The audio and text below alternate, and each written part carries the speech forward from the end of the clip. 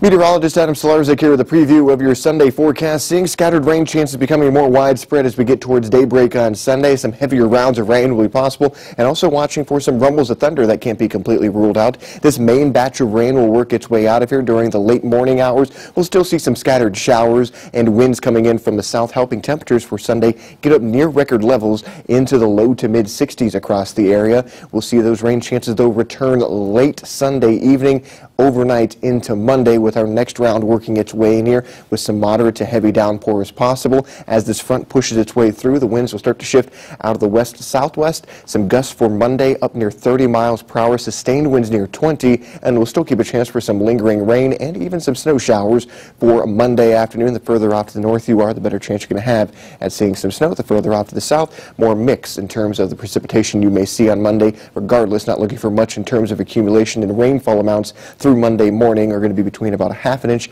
to an inch across much of the area.